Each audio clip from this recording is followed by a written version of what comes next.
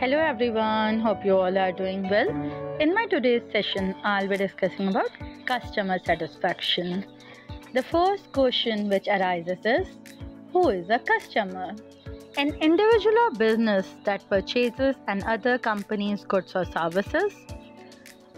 He or she is a customer. Why customers are important is the second most questions which must be coming in your mind. Customers are important because they drive revenues. Without them, business cannot continue to exist. All businesses compete with other companies to attract customers either by advertising their products or by lowering their prices to expand their customers. Now, the question is what is customer satisfaction?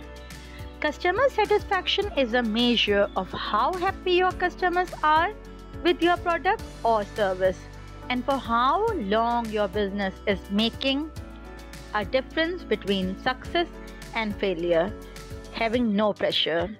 Customers are looking for effective and efficient customer services, but research shows that there may be disconnection between what business thinks satisfies a customer and what actually does. Higher customer satisfaction means customers are happy and business is booming. If you do build a great experience, customers tell each other about that.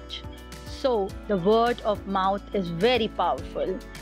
If you go and visit any restaurant and if you like the food of that restaurant, then definitely after coming back home, you will be telling your family, your friends, your acquaintance about the customer satisfaction and the product and services which was offered by that restaurant. So we can say the word of mouth plays a very important role. An organization main focus is to satisfy its customer. This applies to industrial firms, retail, wholesales, businesses, government bodies, companies, non-profit organization and every subgroup within an organization. Let's have a discussion regarding four benefits of customer satisfaction. Customer satisfaction is no more than just a nice to have. Getting it right has a specific tangible benefits including the first one increase brand loyalty. Never take your customers for granted because customers are those who are the main judge of your product. According to PwC, 59% of US consumers who live who love a product or brand would ditch it after several poor experiences. It's a very much concern that almost one in five would do so after a single bad experience. They are not going to be loyal anymore. Secondly, Customer satisfaction drives businesses and products decisions. If you prioritize customer success, you will have an easier time sorting about your task and goals, whether it's product development, marketing campaigns, customer service improvements, or any other business. Before you chase market trends or introduce any new changes in your product, you should make sure your action resonates with your customers. It should be aligned with the customer needs. So you have to do customer satisfaction surveys. If your customers keep complaining about a certain flaw in your product, it's better to fix it before you start expanding your offer to catch new customers. Chances are your old clients will be will get annoyed. For instance, if you are selling a car and you got a complaint regarding certain parts. And you are getting complaint on regular basis. Try to first fix it. And rectify those shortcomings to maintain your goodwill with the current customers and to cap, tap more potential buyers. Thirdly it will help you to stand out of the crowd. Let's face it it is unlikely your product is one of a kind. And even if it is right now you are bound to have few imitators soon. The only one thing you can do is to differentiate yourself is to deliver exceptional customer services and satisfy your clients. If you are formulating and maintaining your own brand since a decade. So, we can say your customers are also loyal to you. Fourthly, satisfied customers attract new customers. Loyal customers not only contribute to high CLV, that's customer lifetime value, they can also be the biggest promoters that draw new customers and recommendations. And to recommend a company, you must have to satisfied with the services. So once you have maintained your brand identity, you have to sustain it as well on a long run. Now the question arises how to improve customer satisfaction. First, collect customers' feedback and always be available. Your customer needs a place to voice their opinions, both positive and negative. Positive customer feedback will ensure that your product roadmap and customer support efforts are heading in the right direction. Happy clients may also share their ideas on improving your product and services, which will help you to build a truly customer centric business. An outlet for Customers' negative opinions lets them voice their frustration before turning to online communities as well. Your customers should be always able to find a place where they can talk to you.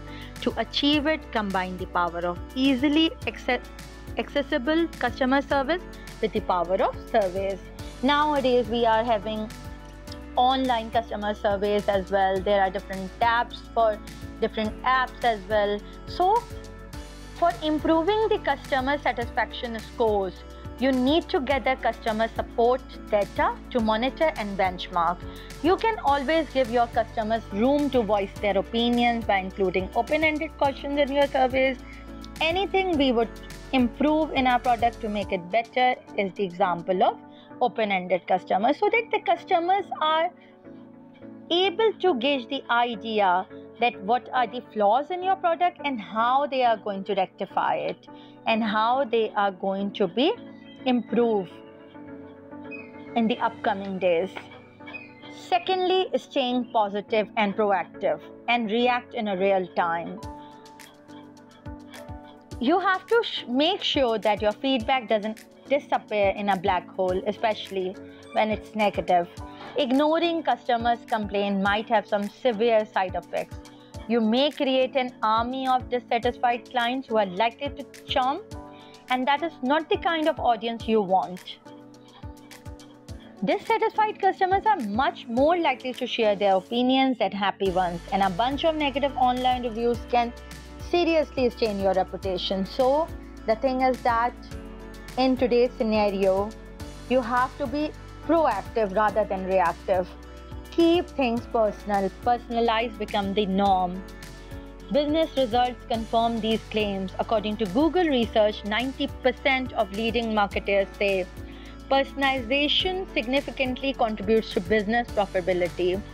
It is hardly surprising that personalization works so well that it makes these customers feel so important at, at home.